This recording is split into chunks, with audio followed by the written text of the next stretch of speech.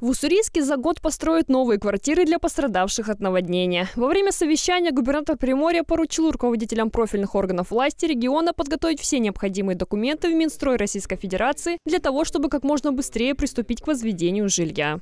Ну, поставлена задача, исходя из э, оценки комиссии по э, тем домам, которые непригодны для проживания, э, построить здесь жилье и предоставить его гражданам, которые пострадали от этого наводнения. А, Поэтому комиссия уже практически провела эту работу. Это порядка около 200 э, квартир. Город подобрал площадку.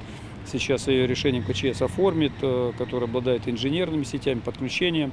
Вот, находится в незатопляемом районе. Поэтому подрядчики заверили, что э, в установленные сроки они жилье сдадут. Это, в общем-то, организации, которые подтверждали не раз свою состоятельность и по срокам, и по качеству работы. Строительные работы планируется начать уже текущей осенью, а весной и летом следующего года основной упор специалисты сделают на отделку и благоустройство. Сейчас здесь работает министр строительства Приморья Виталий Блоцкий, который будет курировать эту стройку вместе с мэрией Уссурийска. Анна Дьякова, новости на восьмом.